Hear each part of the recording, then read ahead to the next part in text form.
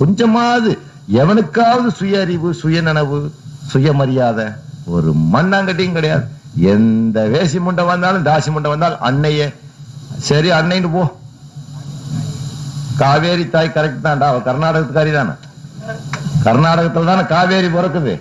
அவளை காவேரி தாய் அவன் அர்த்தத்தோட தான் சொல்றான். தமிழ் தாயின்னு தான் சொல்லக்கூடாது. காவேரி தாய்னா இவ கன்னடத்துக்காரி தானே. கர்நாடகத்துல தானே பிறந்தா. அப்புறம் அங்கிருந்து காவேரி எங்கிருந்து வருது?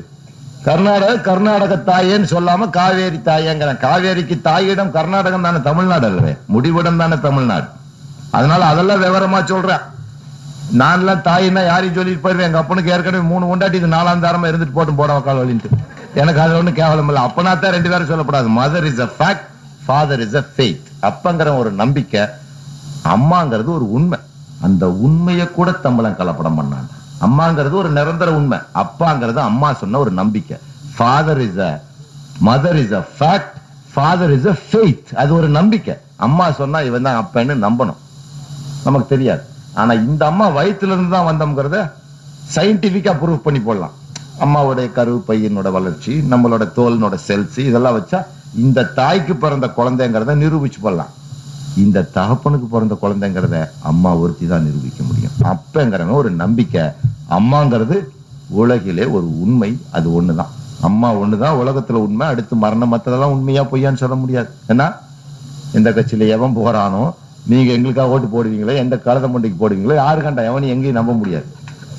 ஆனால் அம்மாங்கிறது ஒரே நிரந்தர உண்மை ஒரு ஃபேக்ட் அந்த தாயை கூட போய் என்னடா ஒரு எவ்வளோ வேணாலும் தாய்ங்கிறீங்களேடா எப்படா சொல்ல முடியுது உங்களுக்கு? நாங்க செத்தாலும் முஸ்லீம்கள் நாங்க ஒரு கொள்கை வச்சிருக்கிறோம்.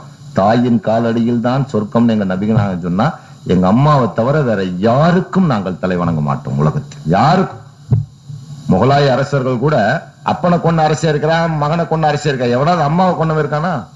மாட்டோம். ஏன்னா அம்மாங்கிறவ என்னைக்கு நமக்கு ஜீவன் உள்ளவ அப்ப நாளைக்கு இன்னொரு கொண்டாடி கூட கட்டிட்டு போயிடுவானேன்ட்டு எங்க அப்பன் கூட எங்கள்கிட்ட டைரக்டா சொல்ல மாட்டான். எங்க அம்மாட்ட சொல்லி தான் சொல்லுவான் பையன் சேர்த்துக்கிட்டு குடிக்கிறான் ஜாக்கிரதையா இருக்கு நேரம் என்கிட்ட வந்து சொன்னா செத்தான் போயா நீ குடிக்காமல இருந்தேன் அம்மா நமக்கு ஒரு அட்வொகேட் மாதிரி அப்பன் ஒரு அஞ்சு ரூபா கூட்டுறான்னு கேட்டோம்னா வேற வீட்டுக்கு போற மக இருப்பான். கட்டி கொடுத்து தூர போற மக அவ பத்து ரூபா காட்ட இருபது ரூபாயா கொடுப்பான் மகளுக்கு. நம்ம போய் பத்து ரூபா காட்டோம்னா நீ கண்டபடி சுத்துவா அஞ்சு ரூபா போதும்பியா அப்புறம் அம்மா போய் சண்டை போட்டு வாங்கி கொடுப்பான். நாங்க தாய்க்கு தனி இடம் வைத்திருக்கிறோம். எங்கள் நவிகள் நாயகம் இருபத்தி மூணு லட்சம் சதுர மைல்களை ஆண்டு கொண்டிருந்தாலும் கூட தன்னோட தாய் வளர்ப்பு தாய் வந்தபோது எந்திரிச்சு சால்வையை போட்டு மரியாதை செய்வோம். முஸ்லீம் வீடுகளில் பாருங்க பெரும்பாலும் இந்த மாமியா மருமக சண்டை வராது. எங்க- அம்மா தான் போய் பொண்ணு பாப்பா. நாங்க பொண்ணே பார்க்க மாட்டோம். தொண்ணூத்துக்கு தொண்ணூத்தொன்பது முஸ்லீம் பொண்ணு பார்த்துருக்க மாட்டான். பார்த்துருக்கீங்களா? பொண்ணை எப்போ பார்ப்பேன்? ஃபர்ஸ்ட் நைட்னு சொல்றீங்கல்ல அப்போ பார்த்தா தான் அப்பதான் இவன் பார்த்தான். அதுக்கு முன்னாடி எங்க அம்மா தான் எங்க அம்மா நாளைக்கு வந்து எப்ப அவன் பொண்டாட்டி அப்படி இப்படின்னா எங்க அம்மாவை மடக்கிடுவான். நீ தானே பொண்ணு பார்த்த?